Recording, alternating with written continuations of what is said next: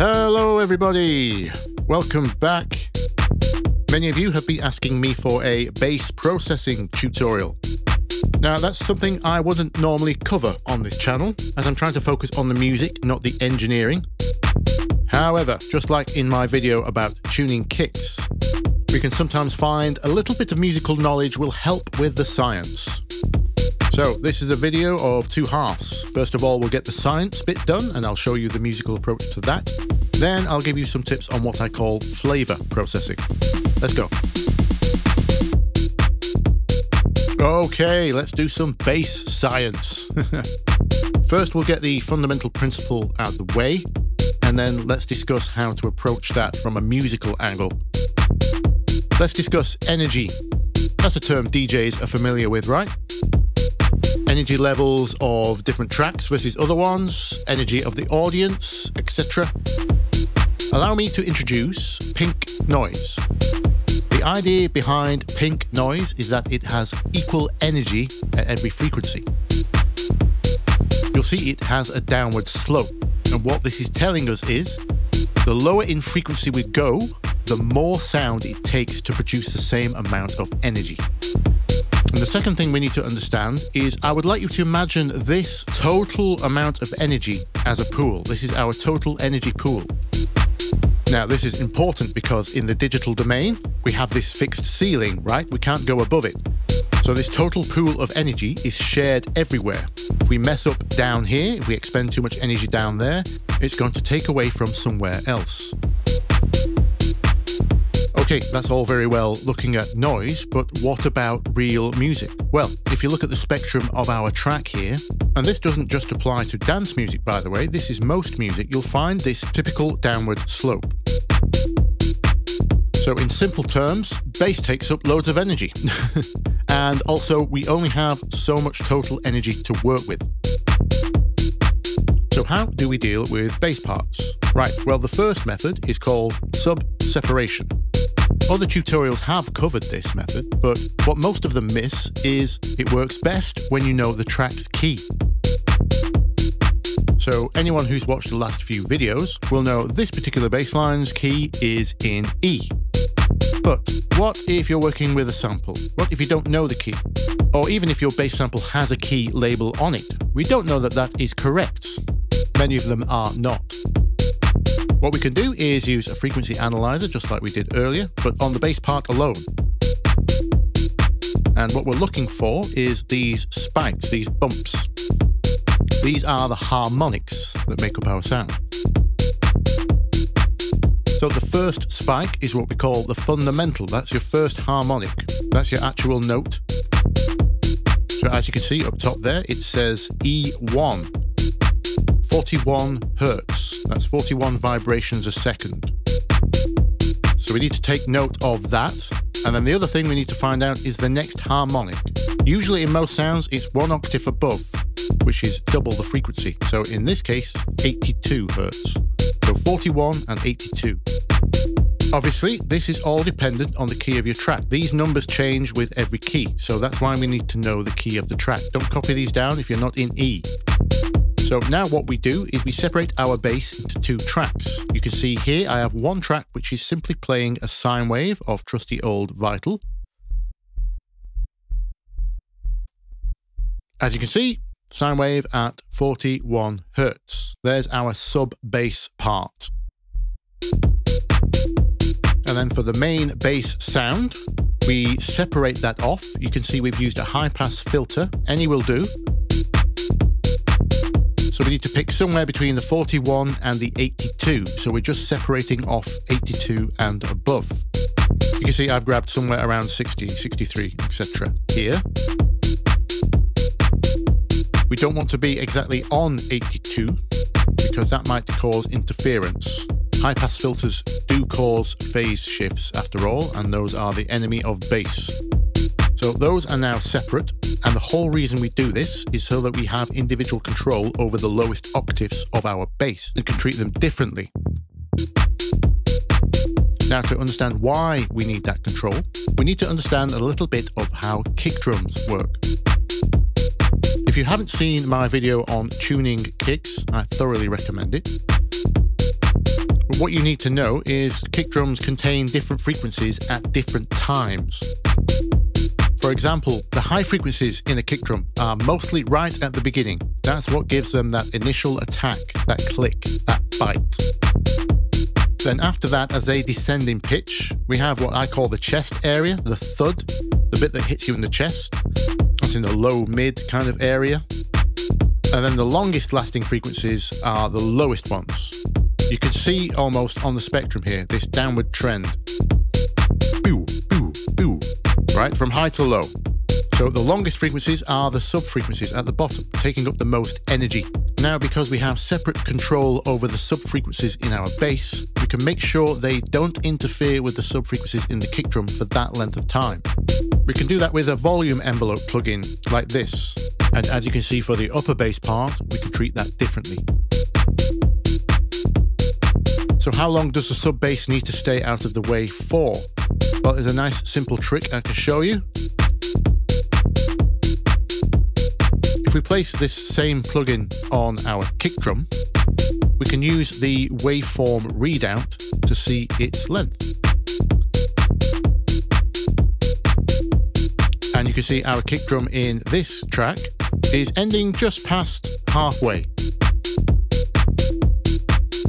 So if we make sure our sub bass is out of the way for that length of time, we now know the sub frequencies are not going to be fighting for that precious energy pool. Now, we should never just rely on the eyes. Look up a phenomena called the McGurk effect if you want to know why. But we need to do a listening test too. And a great trick for those of you in less than ideal environments is just to put a filter on the master and listen to the low frequencies only what we call the club toilet test, right? and what we're listening for here is is this a big boomy mess? Or can we still dance to this? Can we hear the groove? Hopefully, you can hear in this case, our bass and kick groove is working.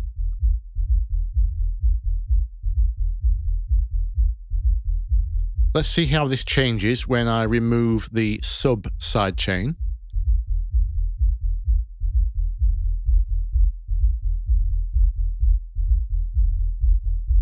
Let's take the sidechain off the bass.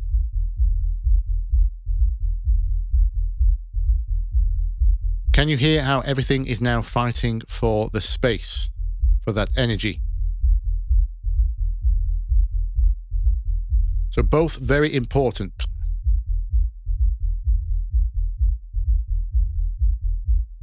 Now, if you couldn't hear the difference in those examples, then that is an indicator that either your ear training or your listening environment is going to need some work still. Right then, that's the science bit out of the way. Get that bit right and you're free to do pretty much anything you like afterwards. Now, if you were hoping for some magical mix trick, I'm afraid you've already missed it. This and the video before should be all you need. Need to get the bass sound right, then you need to get the bass part right. You need to understand groove, etc. And then when you understand the distribution of energy down there, that's everything you need to get the track working. Everything after this point is just aesthetic preference.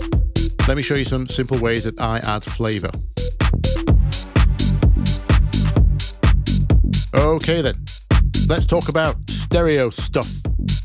Now, this is only for those of you working with mono bass, like the patches I provided in last week's video. If your bass is already stereo, then first of all, check it in mono, make sure it doesn't collapse. If it's fine, then skip this section. If not, keep it in mono, and I'll show you how to make it stereo better than the original person did. Any of you who have tuned into my live streams will know how much I rant about mono compatibility. Yep, this mono check button needs to be available to you at all times. The reason is simple. Most of your listeners, who are not headphone users, will be listening in mono or near mono. Many Bluetooth speakers, soundbars, and TVs say they're stereo, but are actually near a mono. The speakers are never far enough apart to produce true stereo. Also live, Many live venues and clubs play back in mono because of the opposite problem. The speakers are too far apart. We don't want the person stood by the right hand speakers getting a completely different experience to those stood by the left. So, just in case, we have to make sure the most crucial elements of our track, bass being one of them, survive in mono. So, I prefer to start with a mono bass and then widen, as opposed to starting with a stereo bass and hoping it survives. It's too crucial for that. I'm going to show you three methods I typically use in ascending order of usefulness. The first way, most people will know as the name Dimension Expander, because that's what it was called in the synth that popularized the effect, Massive by Native Instruments. Now, all this effect is, under the hood, is just basically a ping pong delay. Two quick delay repeats, one pound left, one pound right. So we can make this in any delay plugin. You just need to put it in ping pong mode. So it pings from left to right. And also no feedback or repeats.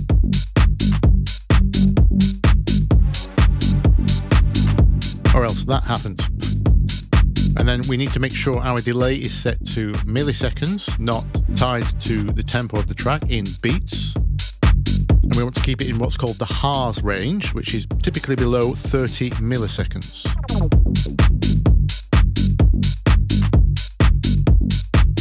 And different delay spacings are going to affect your sound in different ways, so have a play. And without.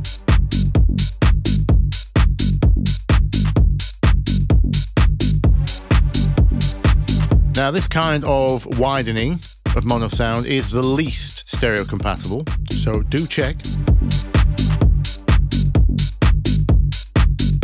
Because it's literally adding echoes to your bass. And as we know, for bass sounds, moving anything over time can create phase problems. Now, if you've done the sub separation trick, then we are in less danger now because the extreme lows are no longer being echoed. But you may still wish to reduce some of the lows in this repeat, or the highs depending on how bright your bass is. This effect is a lot more obvious on bright sounds, but it can either work against you or for you. Always check.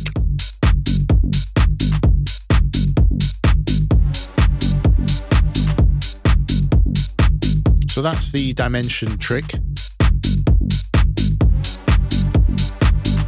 Next we've got chorus, chorus plugins. Now, chorus is actually very, very similar to what we just did. A chorus is actually a delay plugin, if you didn't know. We have very tiny delays being added back to the signal. The difference is the delay timing is being moved up and down and that creates pitch changes. So it's like having multiple voices play back slightly at different times and different pitches, just like a chorus of voices. So that gives it this swimming effect. Now, just like the dimension trick, because we're adding repeats back to the original sound, we are in danger of phase cancellation, i.e., less bass on our bass sound. So we need to check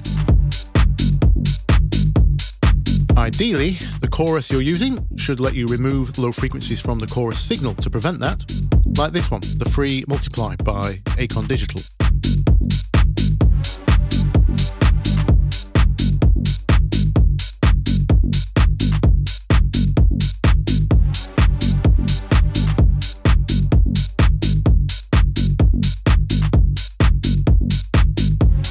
Moving on to my most used stereo widener of mono sounds, not just bass, is this Stereo Touch by Voxengo.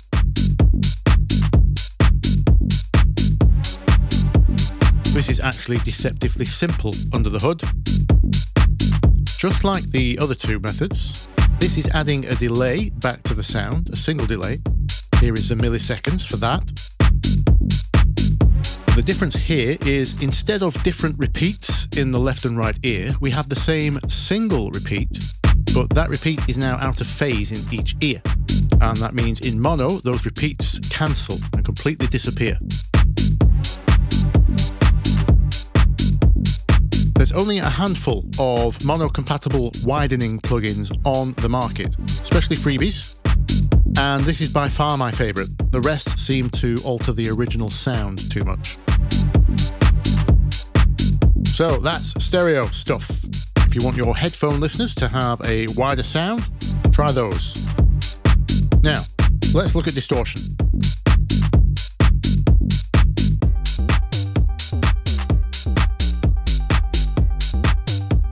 Distortions. Okay, so here's that Fred again, stroke Chris Lake 808 style bass from last week. As discussed last week, 808s are pretty close to a sine wave. They're a sub already. For this track, I didn't use the sub separator trick because this bass is already almost only a sub. There's not much else going on. Now, low warm sounds like this can benefit from some extra harmonics from distortion, depending on how aggressive you need the sound to be. This is all flavor, after all. Here is Bedroom Producer's blog Saturator, another freebie.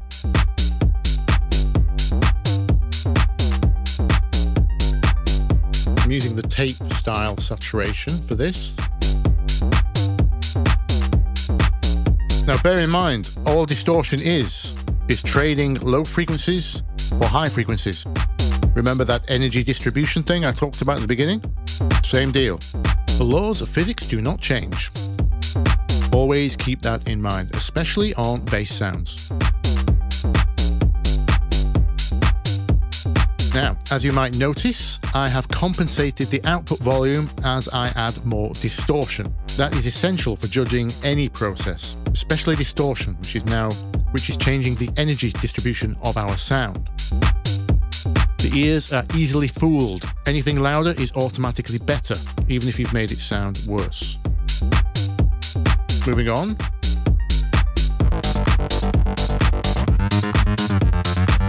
Now, if you've got sound that's already bright, like this, we can get away with more aggressive types of distortion. Now, granted, some of that brightness is coming from the fact that the patch is already distorted, but I thought I would show you what something like a wave shaper would do to this sound.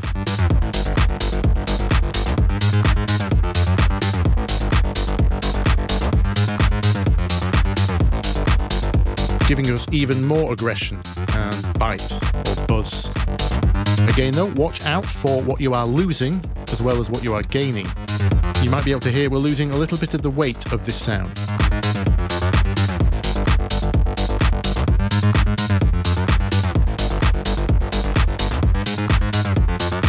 Just to your own tastes. This is a new plugin, by the way. It's another freebie called Wolf Shaper. It's a wave shaper, which, if you don't know, is effectively like being able to draw your own distortion curves.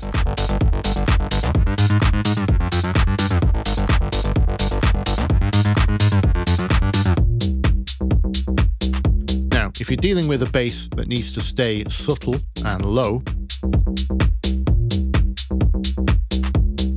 your usual distortion options aren't going to do this sound many favours. This bass sounds as good as it does because it doesn't have high frequencies. Adding them with distortion changes its character too much. And also, don't forget, distortion usually destroys dynamics. So if you've got an attacky, punchy bass like this one, distortion is going to delete that. And to those of you trying to jump ahead and say, well, you can always run distortion in parallel, no, that is not the solution. Unless the plugin itself already has a mix knob, you cannot run it in parallel. Distortion changes too many phase characteristics. So, what can we do? Well, there's a form of digital distortion. Most people call this bit crushing. Let me show you bit crushing. Bit crushing is basically introducing noise.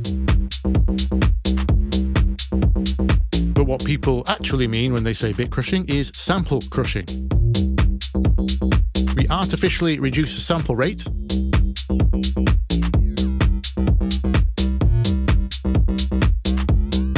to introduce something called aliasing.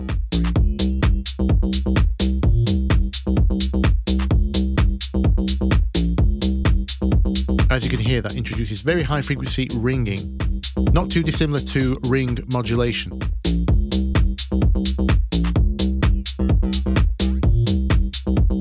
In in subtle amounts, this can help duller basses stand out a little bit without changing their character too much.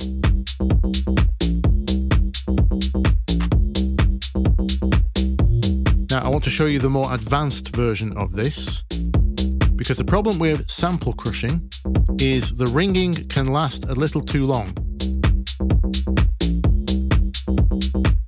You want to retain more of the character of the original bass, you only really want the high frequencies at the start of the sound. So this is an effect we can run in parallel to the original signal because we can isolate the super high frequencies which don't interfere with our bass sound. Just grab the frequencies we want.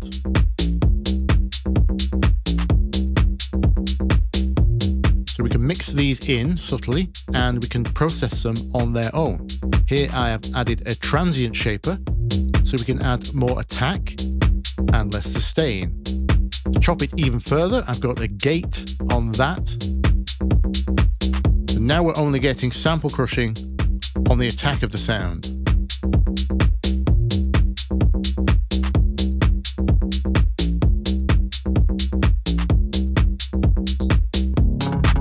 Okie dokie, that's going to do it for this week. I hope you learned something. If you did, you know what to do. Press some of those virtual buttons that help me out. Or if you're feeling extra generous, there's a link in the description to buy me a coffee. And until I think of a sign off slogan, I'll see you next week, or I'll see you in the comments. Bye bye.